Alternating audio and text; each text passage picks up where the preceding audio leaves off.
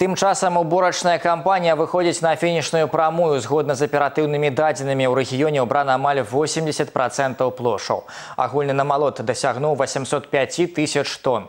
Аграры рэшыцкага района першымі ў рэгіёне сабралі 100 тысяч тонн збожжа і ўжо завершылі масавую уборку.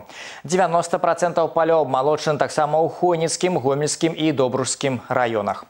У рэгіёне працягваюць ушаноўваць экіпажы камбайнераў, якія дасягнулі лепшых вынікаў на жніве. У іх складзе, дарэчы, насуперак стэрэатыпам ёсць і дзяўчыны. Падрабязнасці ў сюжэце Ганны Каральчук. Веранікі шкала 19 гадоў. Яна студэнтка сталічнай ВНУ і будучы бухгалтар. Але сёння гэтая дзяўчына сапраўдны механізатар, які працуе ў пары са сваім бацькам Валерыем. Вераніка ўпэўнена сядзець за рулём шматтоннай машыны, камбайна КЗС-10 і кажа, што нічога складанага ў гэтым няма. Ёй пад сілу нават дробны рамонт тэхнікі. Там сбоку есть лючки, их открываю, я беру ковеню, чищу его. Затем нужно снять фильтр воздушный, что идет двигатель, воздух, продую его. Ну, изначально вообще надо масло проверить, конечно. Вот. Ну и кабину, чтобы чисто было все в порядке, сам комбайн, чтобы не был засорен. На самом деле я это все, как сказать, пришла к уму за дня два.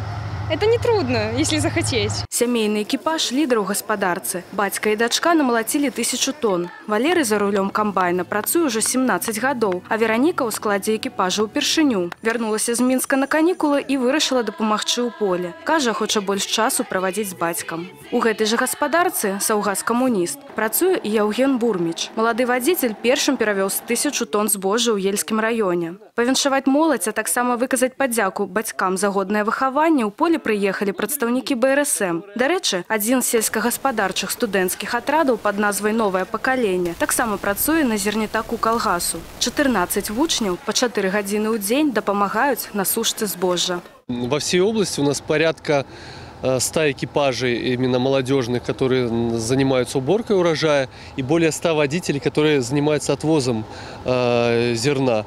И э, мы, как Союз молодежи, именно в этот период стараемся особо поддержать этих молодых людей. Выезжаем к ним в поля, вручаем какие-то подарки, благодарим, да даже просто воды привезти. У сельгаспрадпрыемстве Скараднянскі таксама ёсць свая гераіня Ганна Яцухна. Дзяўчына працуе настаўніцай пачатковых класаў, а сёлета вырашыла паспрабаваць сябе ў новай ролі. Услед за бацькам і двума братамі яна выйшла на жніво. Па іх словах сястра працаздольны памочнік. Хутка вучыцца, а ў наступным годзе будзе паўнавартасна кіраваць камбайнам. Осматриваю, попрошу там воды помогти, поднести, долить там.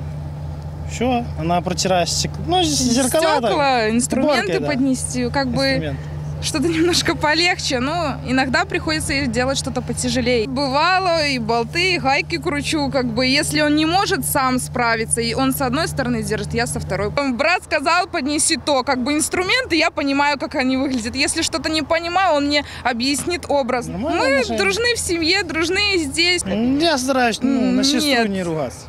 У ельскім раёне ўбрана больш за 60% плошчаў. Ураджай выдаўся добры. Збіраюць 31 цэнтнер з гектара. Калі надвор'я не падвядзе, да чацвярга камбайны выйдуць на апошнія гектары. Ганна Каральчук і Гармарышчынка, тэлерадыокампанія Гомель, Ельскі раён.